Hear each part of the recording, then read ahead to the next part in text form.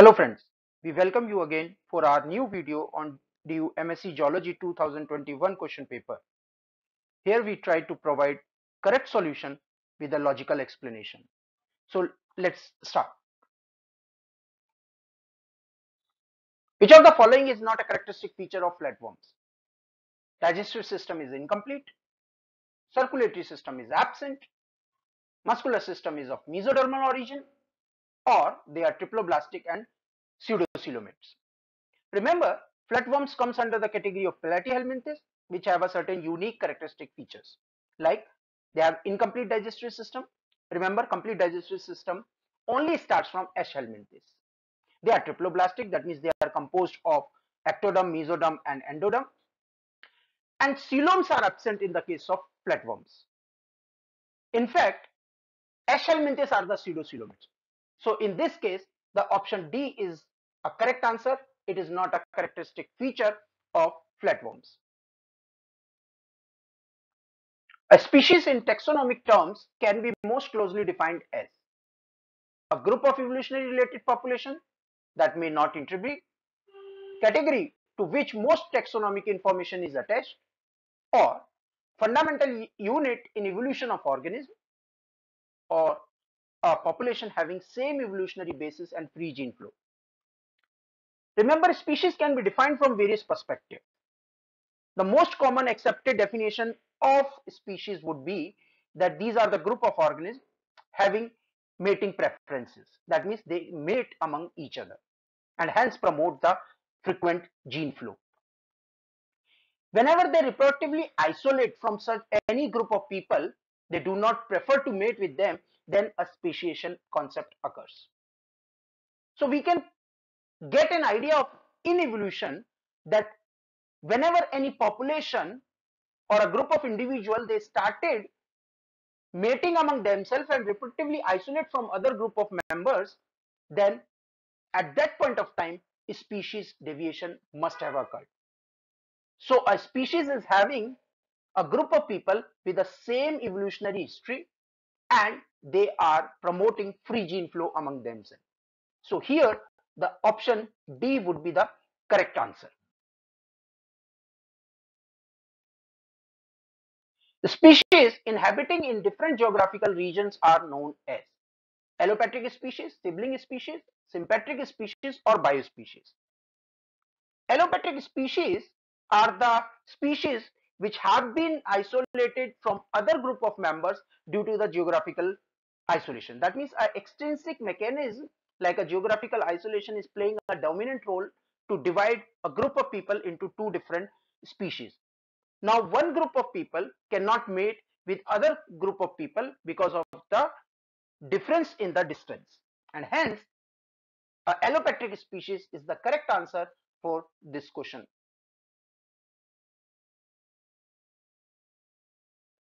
Which of the following lack locomotory organelles? Flagellates, rhizopoda, ciliata or sporozoa?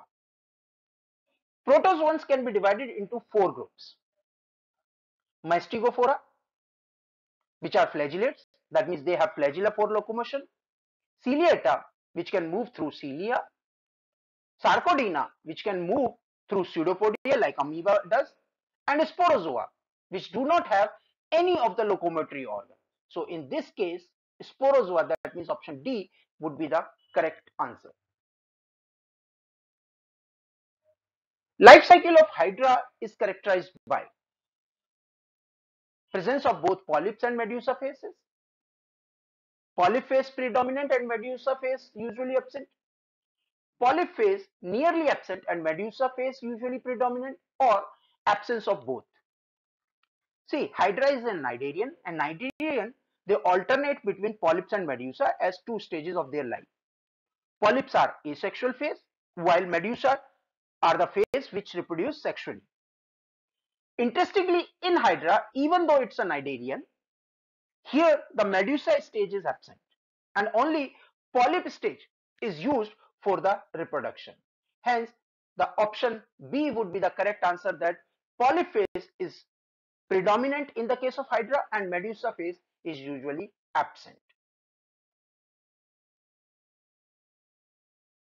primary host of fasciola is rat, pig, sheep or a human.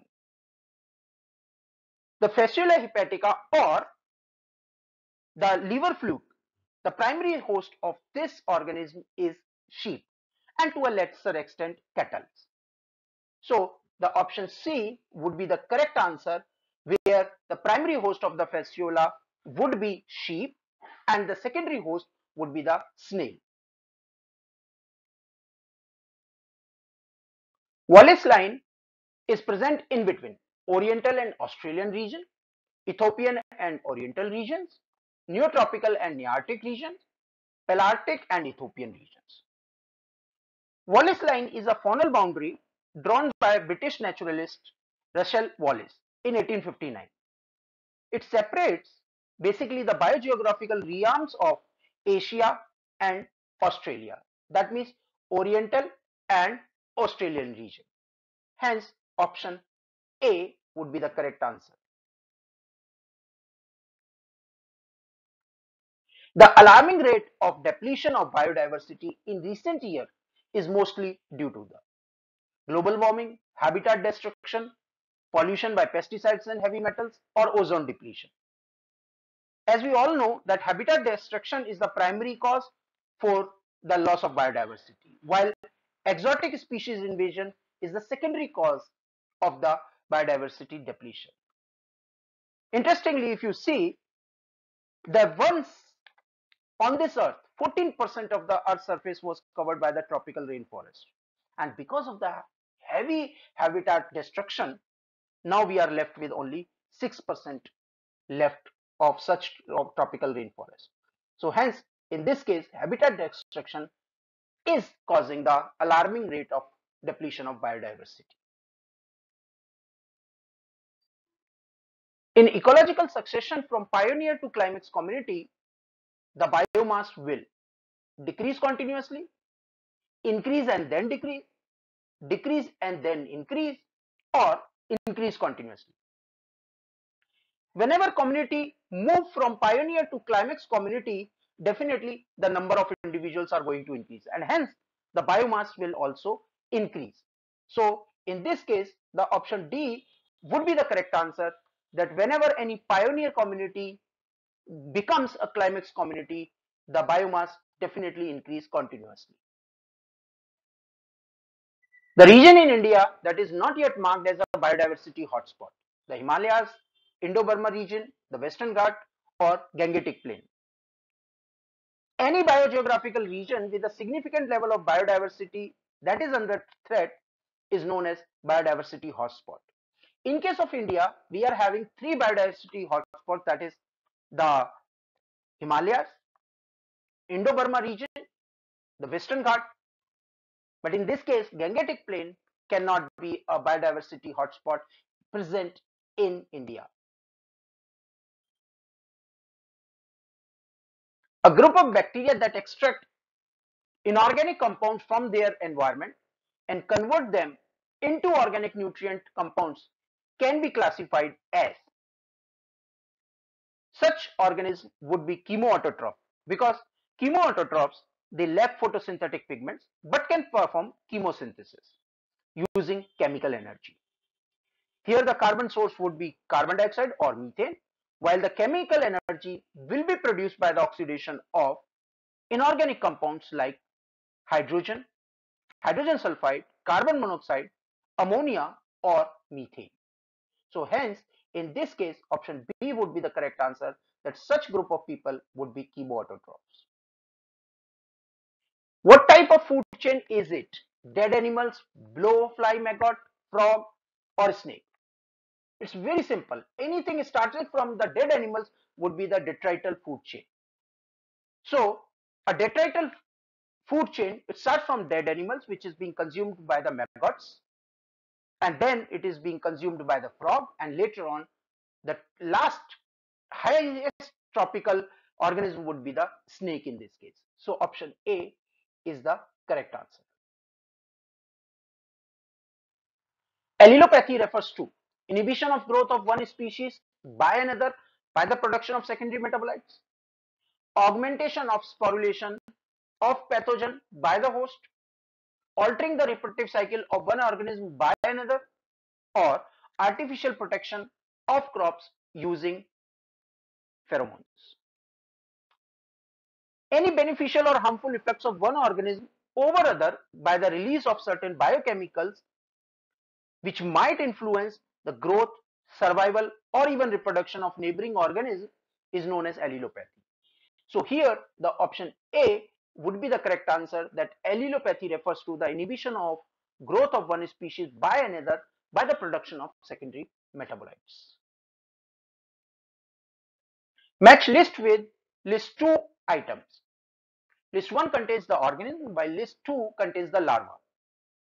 See, you need to remember a lot of larva of different organisms because this is a pet question which comes in the exams where the, you have to match the following or they are going to ask you a different larva of different trophic levels or even organism. In this case, if we see the hexacanth larva belongs to Taenia, the Glochidium larva is belonging to Unio, Planula is belonging to Obelia, Tornaria larva is for acorn worm or Balanoglossus, while Miracidium larva is of Fasciola. Hence, in this case, the option C would be the correct answer that Taenia is having hexacanth larva, Unio is having Glochidium larva, Obelia will be having planular larva, while Balanoglossus is having Tornaria larva. To make it simple, we are also giving you a table where you can learn a different phyla and their classical larval form. A haltere is a vestibular organ of butterfly, modified forewing of bud beetle, balancing organ of a housefly or organ used by a male insect to attract female for mating. See, haltere is a club-shaped organ of flying insects which provide information about body rotation during the flight like just like a gyroscope and hence it is a balancing organ of a typical dipteran. So option C would be the correct answer for this question. Which of the following are schizocoelomates? Platyhelminthes, Annelida and Mollusca, Aschelminthes, Annelida and Orthopoda, Annelida, Orthopoda and Mollusca, Orthopoda, Mollusca and Echinodermata. First of all, you should know what is schizocoel. It is a body cavity which is present between the digestive tract and musculature of body wall and it is formed due to the splitting of mesodermal mass. Remember, there are three group of people which are the classical example of schizocoelomate which we can remember as a mnemonics arm AAM, Annelida, Arthropoda and Mollusca. So option C is the correct answer in this case. In bivalves, which structures secrete pearl? Whenever any foreign mass comes and is stuck up between shell and mantle of bivalves, they start secreting layers of nacre, which is also known as mother of pearl, and which ultimately start forming the pearl. Hence, in this case, the option C is the correct answer.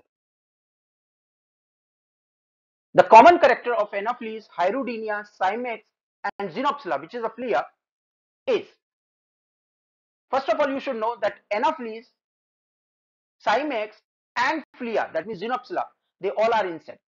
Hyrudina on the contrary is an annelid. So hence C option would be incorrect.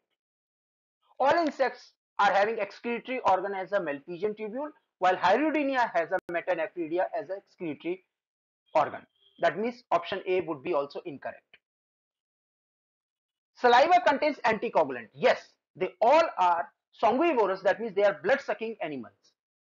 And they must be releasing anticoagulant in their saliva so that they can have a free flow of blood during sucking of blood.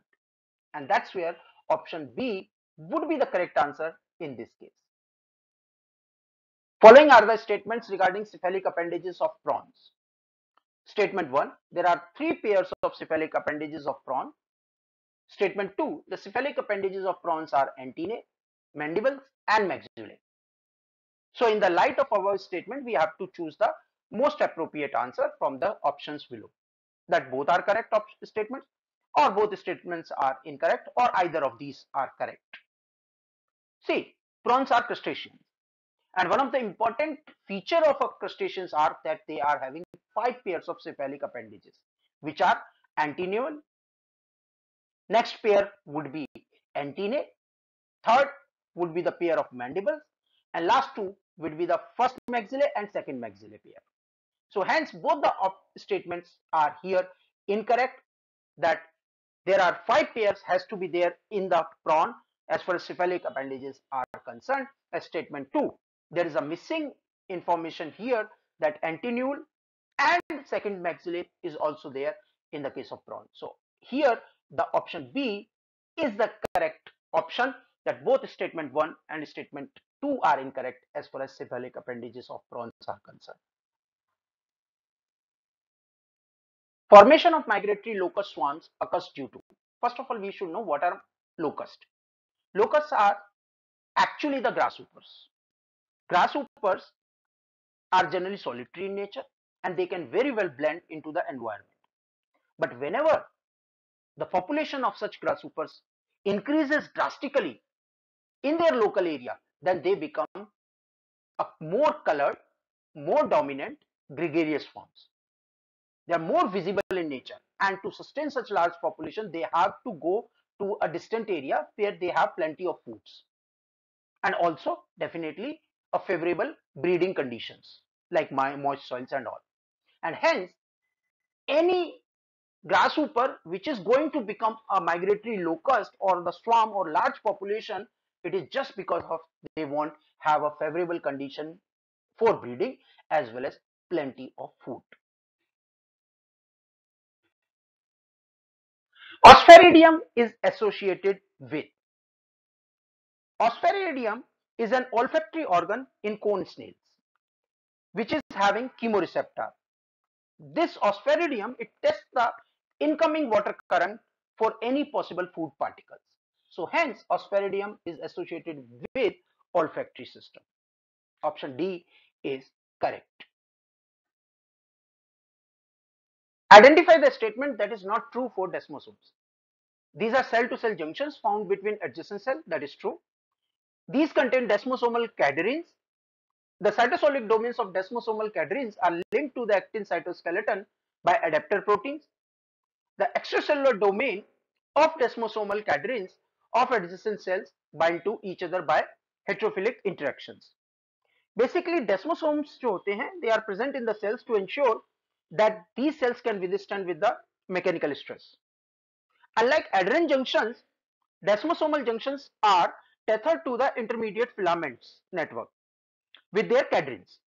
And these cadherins are of two types, basically desmoglein and desmocollins, which are connected to each other by the heterophilic interaction. That means they are connecting a desmoglein will be connected to desmocollins while a desmocollin will be connected to the desmoglein, heterophilic interactions. On the cytosolic side, cytoplasmic side, they contain keratin based filaments which are anchored in the protein plaque. So hence, in this case, the statement A is correct. That means these are cell to cell junctions found between adjacent cell. Then these contain desmosomal cadherin which are present between the intracellular side that means between two cells and then extracellular domains of desmosomal cadherins they are linked together by the heterophilic interactions. Cytosolic domain of desmosomal cadherins are linked to the actin cytoskeleton? No, they are linked to the keratin based intermediate filaments. So option C is wrong. That means it is not true for the desmosomes. The zonula occludens protein in tight junction of epithelial cell sheet is required for binding of tight junction proteins in adjacent cell linking the cytosolic domain of tight junction protein to the actin cytoskeleton, withstanding shearing forces by epithelial sheets, or defining the apical and basolateral region of the plasma membrane. Basically, tight junctions are present in apical region of the cells, not the basolateral region. and formed by multiple protein complex having integral transmembrane proteins which are claudin, occludin like these kind of protein and then they have a cytosolic adapter protein like zonula occludens. These zonula occludens proteins they connect the transmembrane protein with the actin cytosolic network like as you can see in the diagram. So hence here the option B would be the correct that zonula occludens protein in tight junction of epithelial cell sheet is required to link the cytosolic domain of tight junction proteins to the actin cytoskeleton. Okay, in this question, what would happen if the pH of the mitochondrial matrix is maintained at 7 and pH of intermembrane space remain unaffected, then what would be the consequences? Will ATP synthesis would be unaffected? Movement of protons through F naught complex would be reduced? The potential would remain at 140 millivolt or ADP would be imported into the matrix. What would happen? Basically, you know that in respiratory mitochondria, protons are pumped into the intermembrane spaces. जिसकी वजह से क्या होता है the matrix pH is becoming slightly alkaline around 7.8 while the intermembrane space is on the little bit acidic side like around 7 to 7.4 now as the question is saying that intermembrane space pH is constant that means it is unaffected while the matrix pH is reduced to 7 then what would happen see if the matrix pH and intermembrane space they will be having similar pH then how the proton gradient will be formed. And if proton gradient will not be formed, then there will be no driving force to make the ATP. Because ATP are only formed when the protons gradient, it makes a gradient and then the proton comes out and correspondingly it gives you a mechanical energy which is being converted in making ATPs. So hence in this case the movement of proton through F naught complex would be reduced which will compromise the ATP synthesis. Which one of the following is not an actin binding protein? Spectrin, alpha-actinin, ankyrin and filamin. Basically if you see the actin binding protein they binds to actin. Some of the examples are alpha-actinin, beta-spectrin, dystrophin, utrophin, filamin and fimbrin. ankyrin, they do not bind directly to the actin, rather they bind to the spectrin which can bind to the actin. So hence in this case, ankyrin cannot be a actin binding protein. Phosphorylation of intermediate filaments generally leads to the their disassembly. This modification is observed in. Basically what happens is intermediate filaments or IF filaments they are the least dynamic component of cytoskeleton and generally they are not found in those cells that are involved in moving movement. So if any process by which the IF elements are going off that will lead to the enhancement of the movement. Hence phosphorylation is a process by which intermediate filaments is generally lost and that's this kind of a phenomena is most often seen in the migratory cells. Identify the statement that is true for prophase of mitosis. So we have to find out which statement is a characteristic feature of the prophase of mitosis which is one of the longest phase of mitosis. Duplication of the centrosomes takes place? No, that happens during the S phase of interphase. That means the duplication of centrosomes and duplication of DNA, they both happens to be in the S phase of the interphase. Once this is being done, then this duplicated centrosome and its centriole, they start moving to the opposite sides of the nucleus during the prophase, which is a characteristic feature of a prophase. The microtubule of the spindle fibers, they start attaching to the kinetochores of condensed chromosome in prometaphase, while the chromosomes start moving towards the center of the mitotic spindle fibers, that happens to be in the metaphase. So here the option B is the correct answer that that duplication of centrosomes they start happens which has happened in the S phase they start moving to the opposite sides of the nucleus in prophase of mitosis.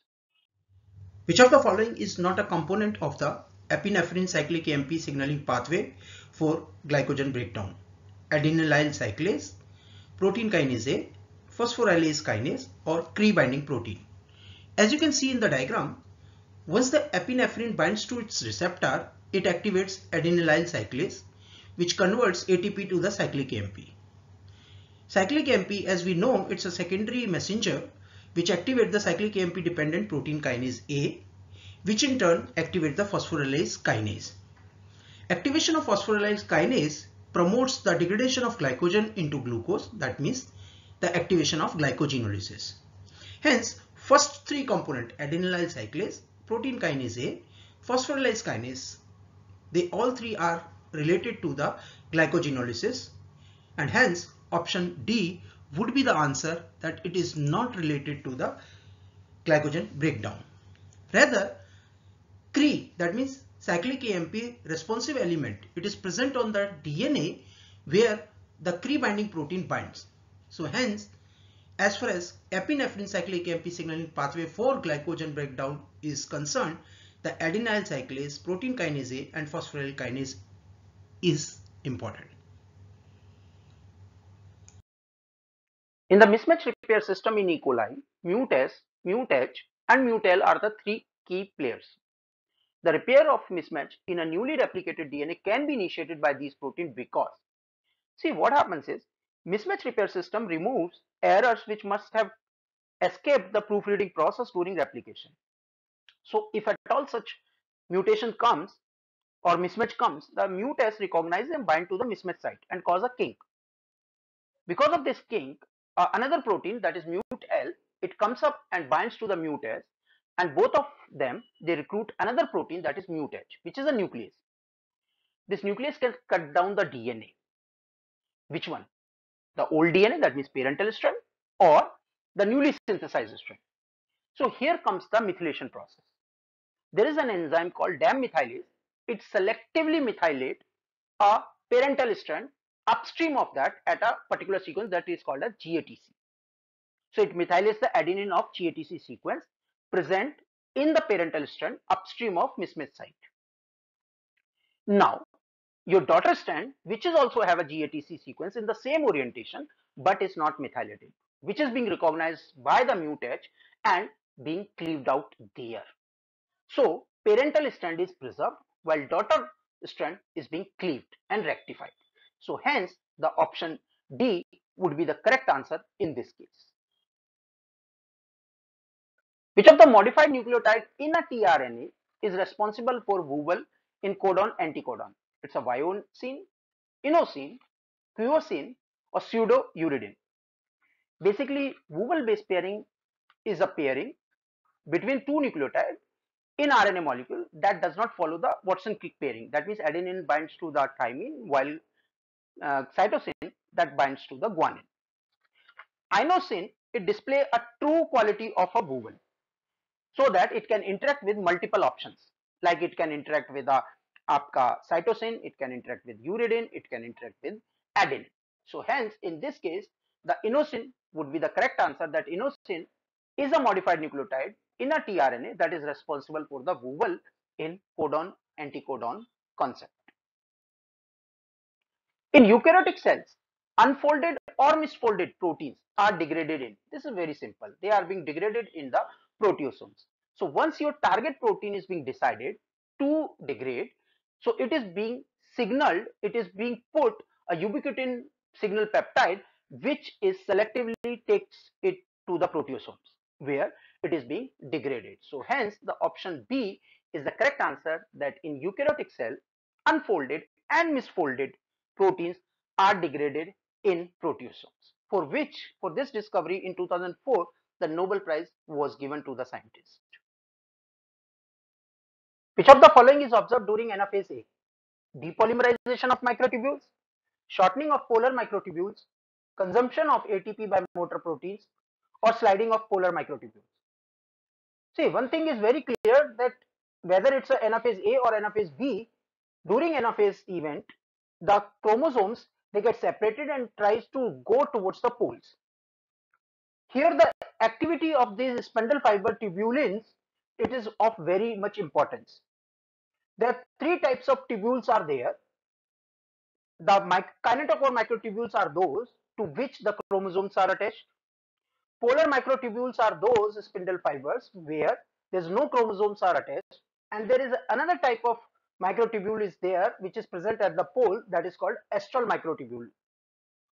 So during the anaphase whether it's a 1 or 2 activity of these microtubules that causes the separation of chromosomes and movement of these chromosomes towards the respective poles. So exactly what happens during the anaphase A?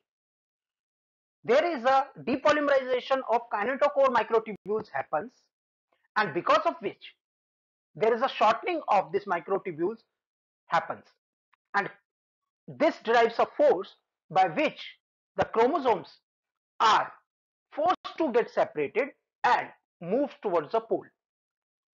This very same kind of a thing happens during the anaphase 2 but the difference is while in the case of anaphase 1 the force was derived from the kinetochore microtubule while in the case of anaphase 2 the force is derived from the sliding movement of polar microtubule and the there is another pulling force is being provided by the astral microtubule. So there is a no role of kinetochore microtubule as far as anaphase 2 is concerned which is predominantly found in anaphase 1. Hence the option A is correct that the depolymerization of microtubules that is the kinetochore microtubules actually causes the separation of chromosomes which allows these chromosomes to move towards the poles.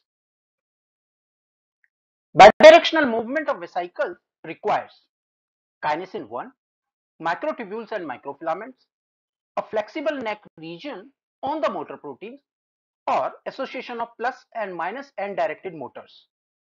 Basically what happens is as we know that microtubules are polarized that means they have plus and minus ends and that is where the specifically molecular motors like dynein which is a negatively directed motor and kinesin which is a positively directed motor they both collectively works in tandem to derive the bidirectional vesicle transform which is also known as tug of war. So as you can see in the diagram there are two molecular forces are there. One is dynein.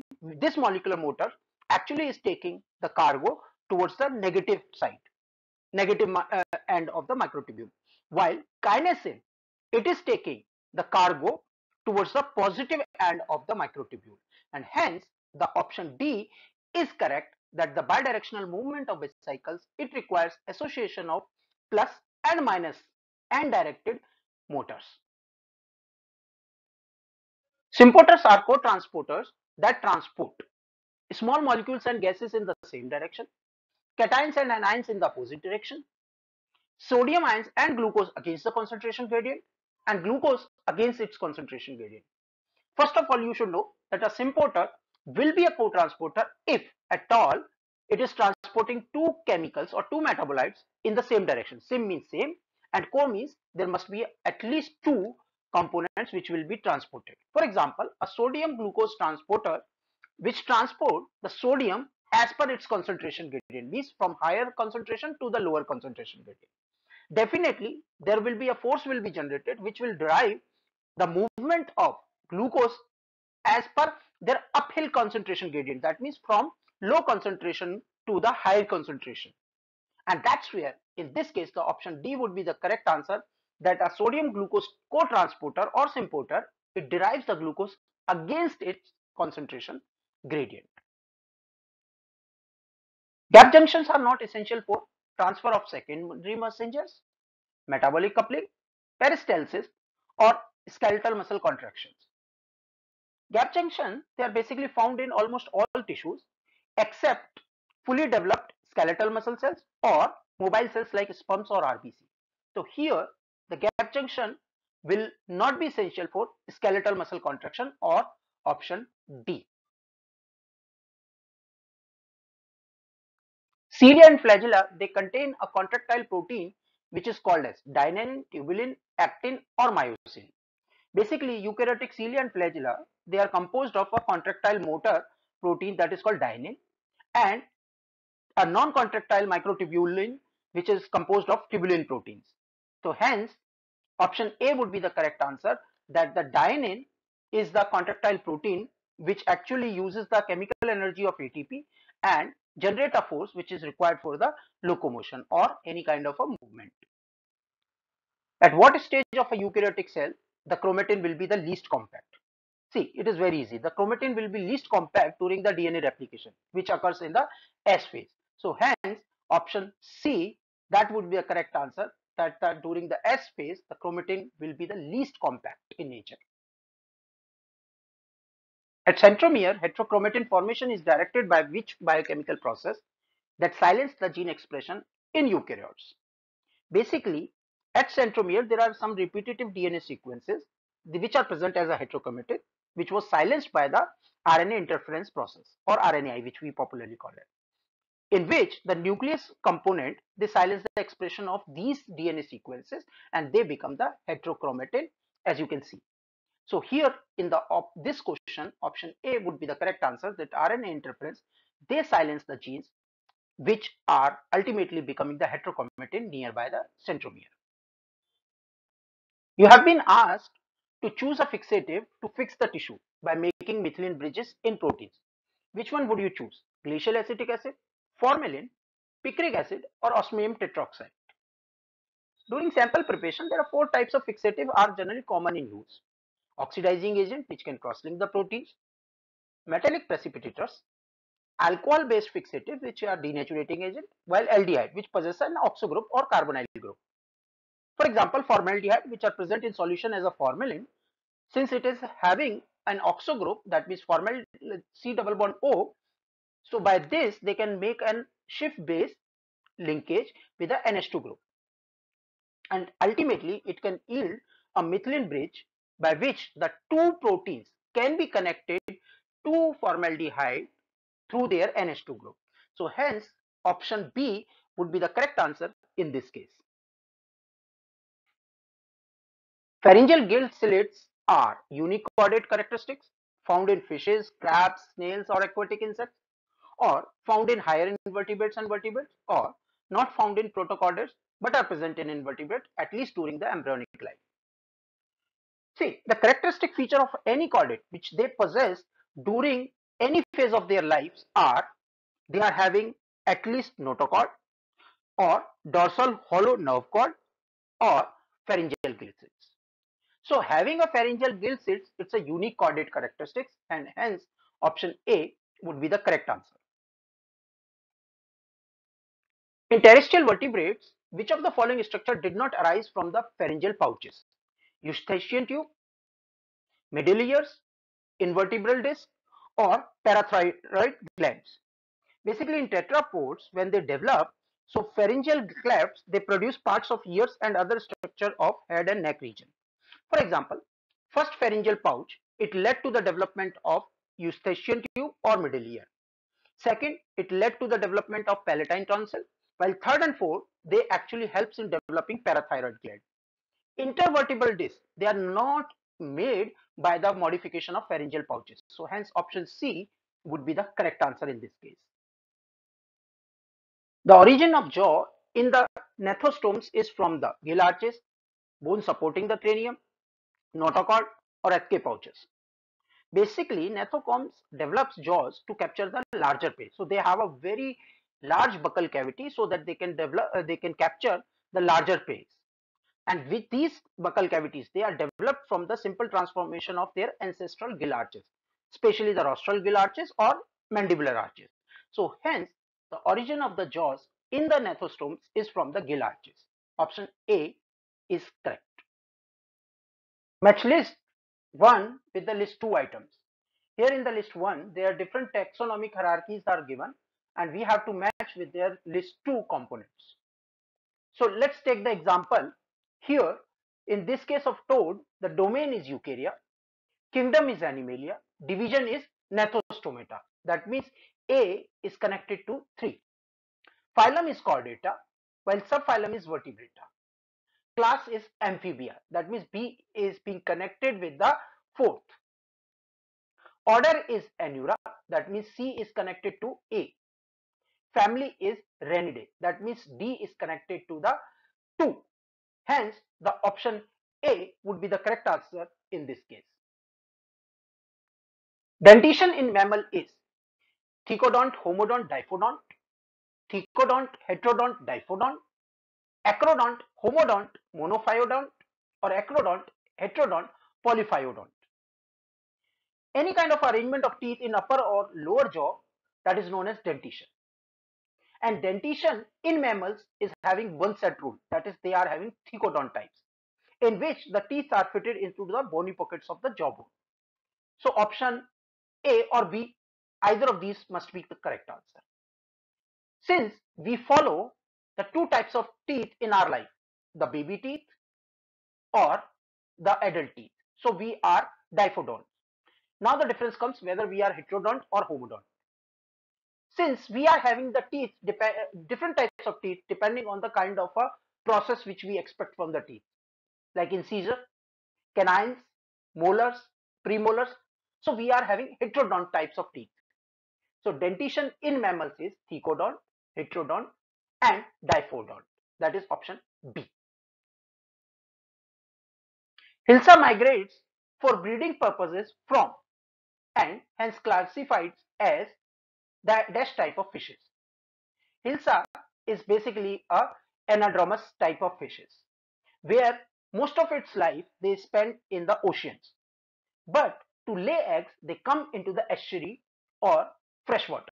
So hence the option C would be the correct answer that the Hilsa migrates for breeding purposes from salt water to freshwater and it is classified as anadromous type of fishes.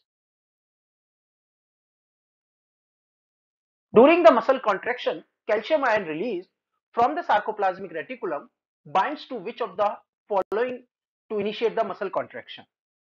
Basically, during the muscle contraction, calcium ions are released from smooth endoplasmic reticulum, which bind to troponin and ultimately causing the troponin tropomyosin complex to change its shape and which causes the removal of tropomyosin from the myosin binding sites. So now myosin binding sites are free to bind with myosin and ultimately the muscle contraction occurs. Hence option A would be the correct answer that once the calcium ions are released from the sarcoplasmic reticulum, it binds to the troponin. Which of the following cells would like to be found in the tissues lining the organ that produces and releases mucus? The answer would be the goblet cells because goblet cells are specialized cells which secrete mucin, which is an important component of mucus. So option A would be the correct answer in such case. In bone, the crystallized inorganic mineral salts and the collagen fibers along with each other organic molecules contributes to bone tissue they contains an abundant extracellular matrix component which has a 15% of water 30% of collagen which actually contributes to tensile strength and 55% of crystalline mineral salts which actually provides the hardness. So option A would be the correct answer that the mineral salts is providing the hardness while collagen fibers they are providing the tensile strength in the case of bones. Which of the following are the source of ATP for muscle contractions? Glycolysis, creatine phosphate, aerobic cellular respiration or arginine phosphate. So we have to choose the correct combinations. As we know that ATP is must for muscle contraction. So in case of resting muscles, there are nearby some ATP molecules are placed which can be utilized if muscle come into the action. Creatine phosphate may serve as a fallback option if you require the ATP for a longer run. If you do require a more ATP, let's say for hours, then that can be provided by the glycolysis. But for a longer run, if you want an ATP supply, constant flush of ATP, then you have to rely over electron transport chain or aerobic cellular respiration. And hence, in this case, the option A would be the correct answer that for muscle contraction, we can rely over the glycolysis, creatine phosphate and aerobic cellular respiration. Option A is correct. Neurotransmitters are removed from the synaptic cleft by axonal transport, diffusion away from the cleft, neurosecretory cells, enzymatic breakdown or cellular uptake. Again, we have to choose the correct combination. So if you can see in this diagram, once these neurotransmitters are released and its job is being done, then they can either diffuse away from the cleft or they can be enzymatically break down by acetylcholinesterase or they can be reused or reabsorbed by the cellular uptake. So hence, in this case, the option B would be the correct answer. The diffusion away from the cleft, enzymatic breakdown and cellular uptake are the major pathways for the removal of neurotransmitters from the synaptic cleft. Thank you for watching. Please do subscribe us and hit the bell icon for the more updates. Thank you.